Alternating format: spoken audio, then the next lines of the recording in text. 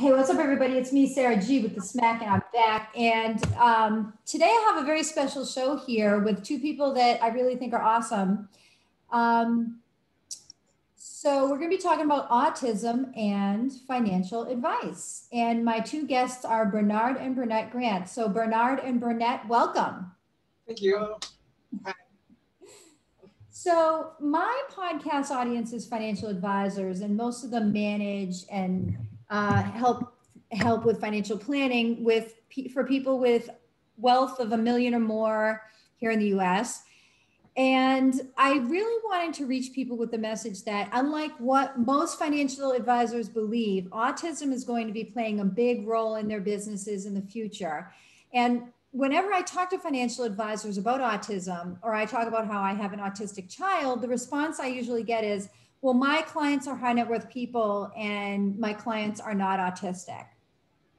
So that's interesting to know, Sara, about all the, you know, information trying to give me, but that doesn't really apply to me in my practice. So let's talk about it, guys.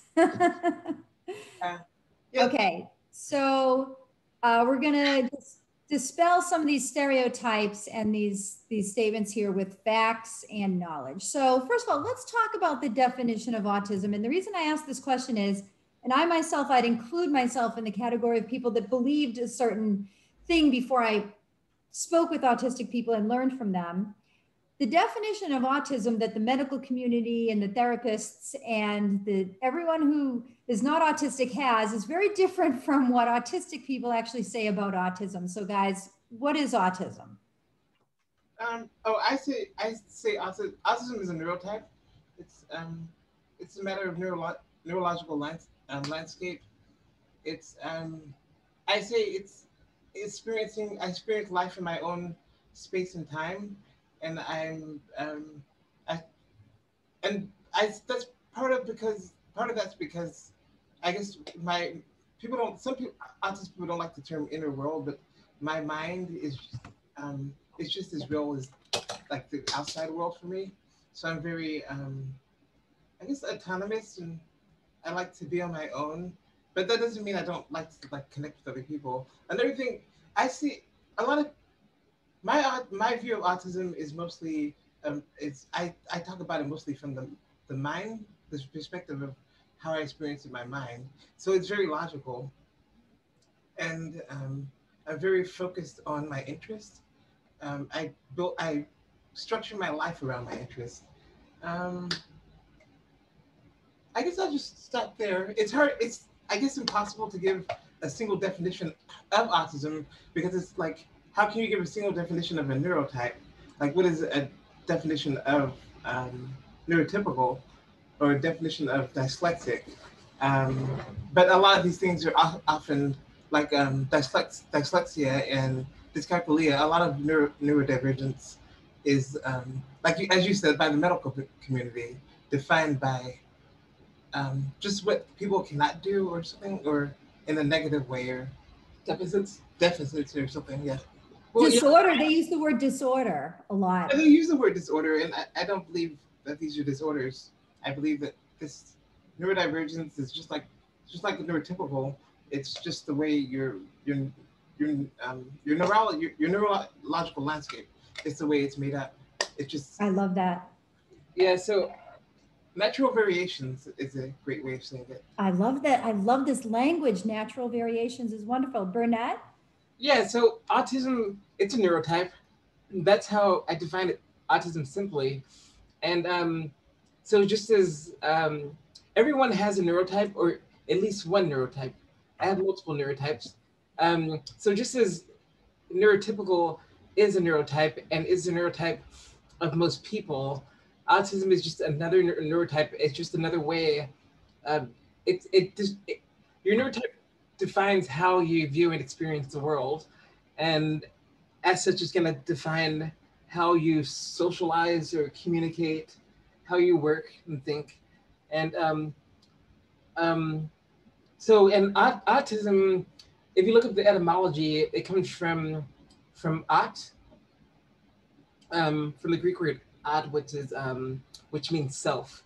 And so um, uh, autistic people view the world from within within themselves, where um, tend to be more autonomous than neurotypicals.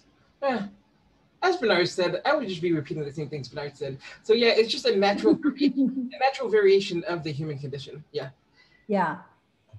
And I love this on this website that both of you worked on that is Bernard's website, bernardgrant.com. And he's got a section, section called Autism Resources, which is for me, when I was reading this website, I mean, I just, I really would love all of you listening to this podcast around the world to please visit bernardgrant.com and visit this section that both of these gentlemen worked on because for me, this was so eye opening. And I'm so very grateful that you wrote these words. And even a lot of my clients have read this website as well, gentlemen, and they have passed on to me that they found it to be very, very insightful. So, oh, wow, that's great. A lot of my clients have said this too. So, folks, for example, um, this is the definition on Bernard Bernard's website that Burnett, I understand, also helped with. Autism is a healthy variation of the human condition. Autists are not tragedies, nor are we defective. We are justice seeking neurodivergent people who view and experience the world autistically, logically, in systems and details, and in our own space and time, living autistic lifestyles. Yeah. Unbelievable, guys. Yeah, I just wanted, because I, I know it's, but as I said earlier, it's you can't really just define a neurotype, but I want to give as close of a definition as I can, as I could, um, because um, when I was looking to start learning about autism, even though I knew I was autistic for a while, I realized I realized I kept reading the same resources over and over, but I didn't have a definition. I had all these disparate terms and words; they, they were all separated. So then I made this site, this web page to collect resources for myself. But I really, I'm really driven by words. So I needed to have um, to have some some words on there that I can come back and read a few times until I fully felt that I understood what autism meant, at least for me. And then, yeah, and I'm glad that some people have said that that this is helpful to them. Yeah. Well, for me, having an autistic child, when I first came to see that he had some cognitive differences when he was very young, I didn't I didn't have these resources. And so everything I was told was that this was some kind of a major thing and like he was never going to have a normal life. And it was just this whole horror show that was, you know, that, that um, this picture that was painted for me. And it, it was because I think I didn't speak with autistic people enough, I was letting the world talk over them. And in a sense, I, I feel so bad for all the times that I spoke over my son. Yeah, but.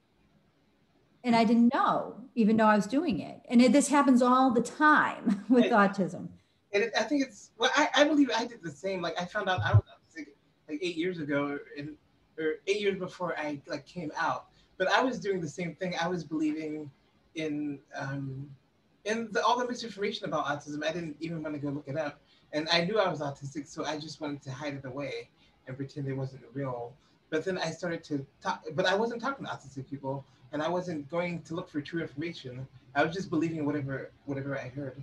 So, but um, one thing I want to say is like, the, the doctors are saying that your son wouldn't be able to do anything. I think that's so odd that people say autistic people like they look at an autistic child and say they're never going to be able to do a certain thing, but they don't do that with neurotypical children. It's just you never know what someone's going to be able to do. You never know who someone's going to become. A, a child hasn't. A, an adult has gone through multiple evolutions of themselves, so they're not exactly the same person they were as a child. And interests change and abilities change. Yeah, it doesn't make any sense. Right. But this kind of thing happens all the time. And there's so many so many false beliefs about this i when my son was diagnosed i looked at it as a beautiful gift because i said at least now i can learn and i can start to try to get into his head more and there will be more resources and more support for me. And it's been unbelievable being able to do that. So, what do you know about the trends with autism? Um, I mean, I was reading somewhere that one in 60 children is diagnosed as being autistic. And I think that this is possibly a result of all of the different, the improved diagnostic um, technologies and techniques that are available, more awareness of it. Uh, there's definitely, I've, I've noticed, well, I think with the, um, the pandemic, for one thing, more more people, a lot of more people are, are becoming aware of their autism and neurodivergence because um, when there's a, a, crisis, people seek help. Um, and so for the first time, people or people are just going to get help um, for their anxiety or figuring out whatever's going on with them and discovering that they're, they're autistic. Um, that's one yeah. trend that I've noticed. Yeah, and that that too, like the pandemic was a reason why I came to accept my autism, even though I, I'd known about it for years. But I just started to feel calm, which I my experience is opposite of most people. I, I, I didn't experience a crisis. I, experienced, I, I started feeling calm because I was at home more, working from home and just not really leaving the house. And I didn't want it to go away. And I, I, I just knew it was autism. So I started researching autism. That's when I made this site. But another thing I want to say is that um, I think the internet too has played a really big role I mean, the autism community is primarily online, but um, with the pandemic too, people are moving to just using online more. I think a lot of people are like, are accidentally are stumbling into the autism community, which is what I did. I I got on LinkedIn to start looking for jobs, at, um, and I but I, I had I had just come out as autistic, but it just serendipitous, and I got on online as I was making the website, and I just started meeting autistic people, and then I found the aut- autism community. And I know that just a lot of people in the neurodiversity community have been doing the same. They were just on the internet and they stumbled into it. So, what are some of the stereotypes that you find people believing about autism that, from an insider's perspective, is aren't necessarily true? You want to start that?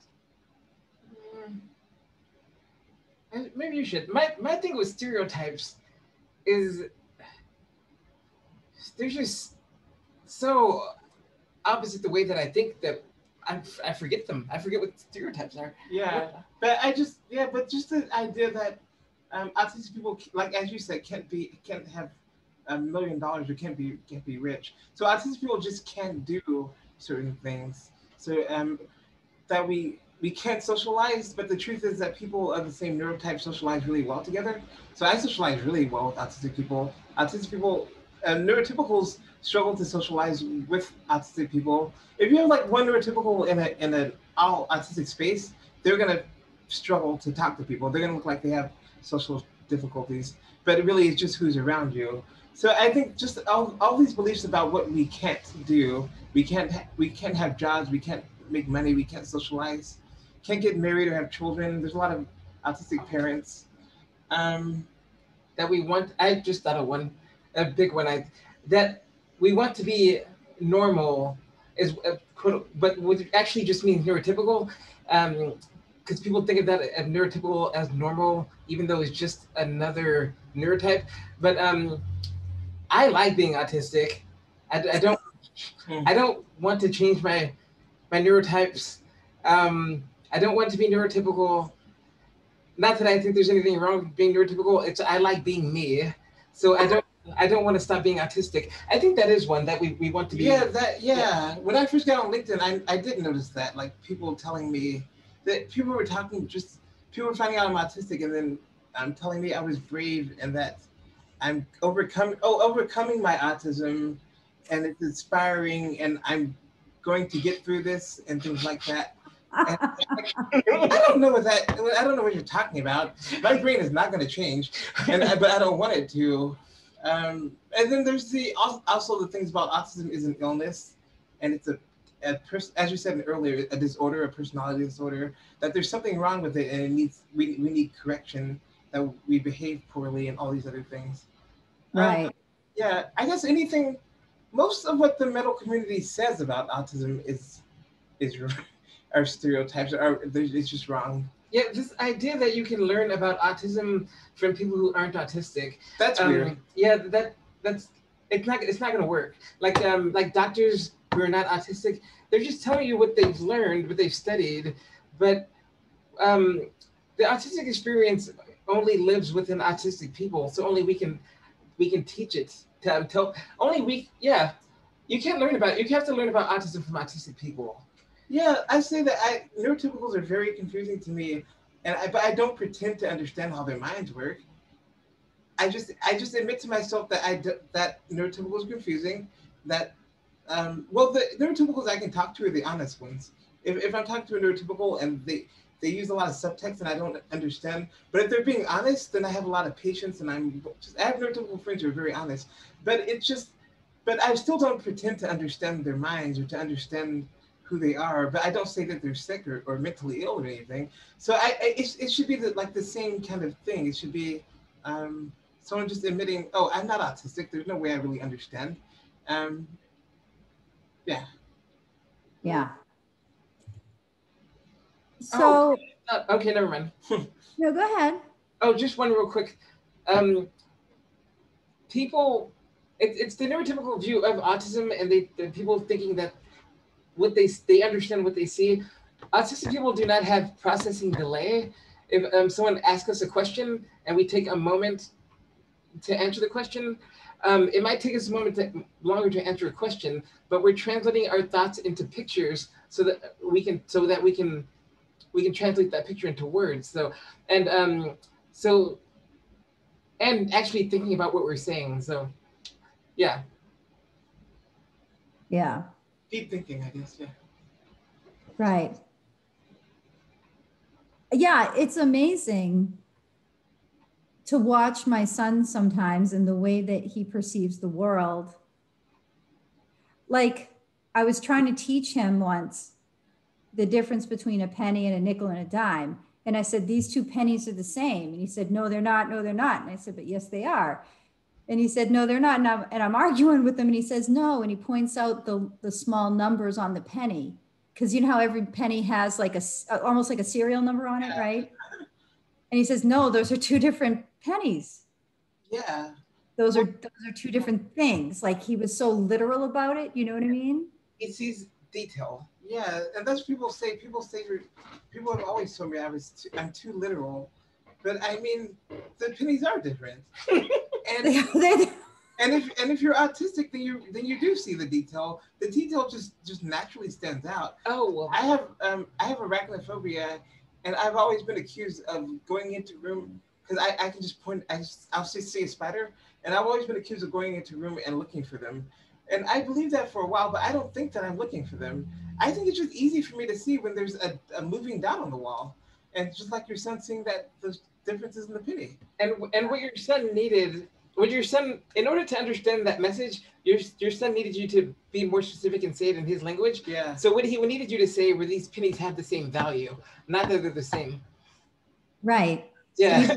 So like, yeah, like sometimes it's like I feel like sometimes I can't even communicate with my own son because I have to kind of like I don't like it when people say, "Oh, like autistic, think of autistic people as being in their own world." I think that's also like kind of a stereotype, and because we we're living in the same world, right? But we just have a different way of experiencing it. But I have to sometimes really look at it through his eyes, and then it's hard for me because I naturally want to look at it through my eyes. But it's been so helpful to me in developing empathy for other people. Oh yeah, yeah. So, we, what advice, just because we only have a few minutes left here, guys, what advice would you give for a financial advisor that maybe has a client who's autistic? That they may or may not even know that the client is autistic. I mean, for me, sometimes I, I see some of the typical things that that my son does, or sometimes his anxiety in certain situations. And so now, when I see people that exhibit these same like anxious or like exhibit reactions I don't understand, I say to myself, you know maybe there is autism or anxiety or like i i've come to respect other people's different responses to me so much more now and so that's been so helpful and i'm so grateful i've learned this but like what would you say to financial advisors that are working with folks that are on the spectrum? Um, I say, like as you do with your son, just accept them for who they are. So if someone comes comes in and and they're just not who you respect because they're you know you're expecting someone who's more neurotypical or something, and someone comes in um, and you think they have quirks or people call them quirks or oddities. I don't believe that, but just understand, just just accepting, no matter who that person is, accepting them for who they are, and don't do any of that stuff like pointing it out. Like I, it's weird. People people um they're always commenting on my personality. Oh, that's unusual, or oh, that's weird. And I was just like, what does that have to do with what we were talking about? We were having a conversation about something. Why does how why do my mannerisms matter?